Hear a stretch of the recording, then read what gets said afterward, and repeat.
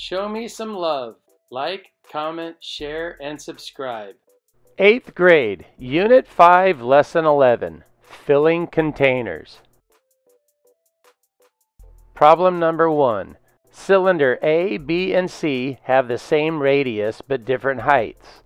Put the cylinders in order of their volume from least to greatest. Cylinder B has the shortest height. It's going to have the least volume. Cylinder C has the next shortest height. So cylinder C would have the second most volume of the three cylinders. And finally, cylinder A. It's the tallest of the three cylinders, therefore it's going to have the greatest volume of the three cylinders. The volume of the cylinders from least to greatest is B, C, A. Problem number two. Two cylinders, A and B, each started with different amounts of water. The graph shows how the height of the water changed as the volume of water increased in each cylinder. Match the graphs of A and B for cylinders P and Q. Explain your reasoning. First, you can tell that they started with different amounts of water by looking at the vertical axis, the y-axis, and you can see where the lines start. That's the y-intercept. Both graphs start at different points of the y-axis. Graph A shows that the height in centimeters increases at a faster rate than graph B. The cylinders are the same height, but cylinder Q has a smaller radius, so it will fill faster. The height of graph A increases faster than graph B, so cylinder Q matches with graph A and cylinder P matches with graph B. Problem number three. Which of the following graphs could represent the volume of water in a cylinder as a function of its height? Explain your reasoning. As the height of the cylinder increases, the volume of water increases at the same rate. So I would select the graph on the left because as the height increases, the volume of water also increases at the same rate. Problem number 4 from 8th grade, Unit 5, Lesson 3. Together, the areas of the rectangle sum to 30 square centimeters. A. Write an equation showing the relationship between x and y. For the rectangle on the left, we have the area equals length times width, which is also equivalent to width times length. And since the length is x, and the width is 3, the area equals 3x, or 3 times x. And for the rectangle on the right, again, we have area equals length times width, and in this case, the length is y, and the width is 2.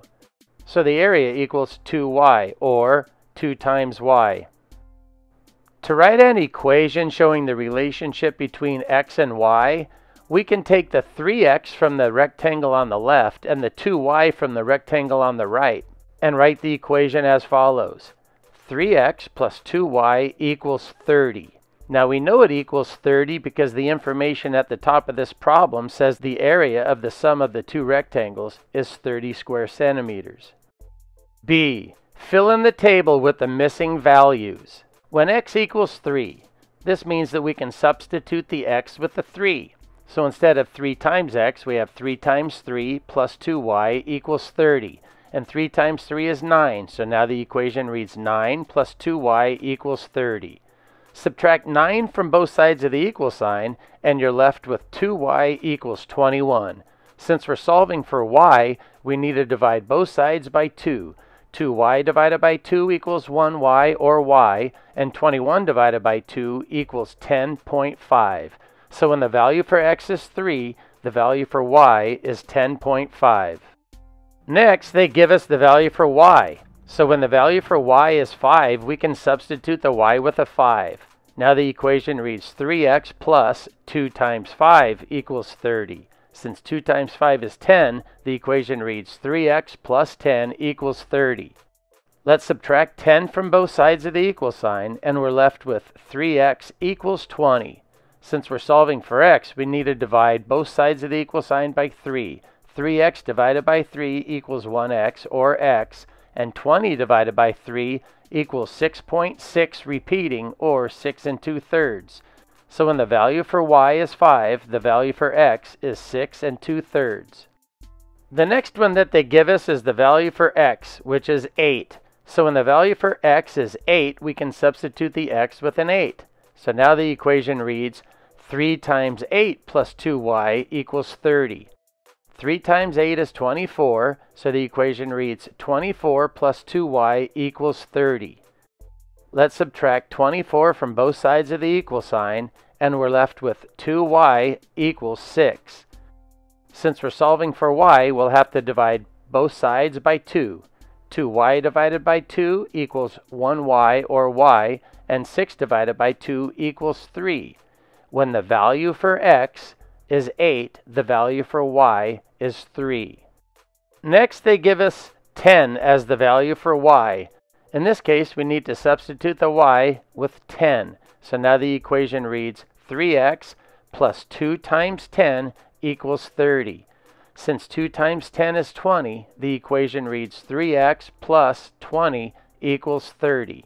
We'll have to subtract 20 from both sides of the equal sign, and we're left with 3x equals 10. Since we're solving for x, we'll have to divide both sides by 3. 3x divided by 3 equals 1x, or x, and 10 divided by 3 equals 10 thirds, or 3 and 1 third, which is also 3.3 repeating. So when the value for y is 10, the value for x is 3 and 1 third. Finally, the last value they give us for x is 12, so we'll substitute a 12 for the x. That becomes 3 times 12 plus 2y equals 30. 3 times 12 is 36, so now we have 36 plus 2y equals 30. Next, we need to subtract 36 from both sides of the equal sign, that gives us 2y equals negative 6. Divide both sides by 2 to get the y by itself, and you have y equals negative 3. And remember, y equals a side length. So this is not possible because a side length cannot be a negative. I'd like to give a shout out to Froyan Lopez for helping me out with this last problem. I appreciate that. Thank you. Help me disrupt YouTube's algorithm by liking this video, commenting on this video, sharing this video, and subscribing to my channel. Thanks. I appreciate it.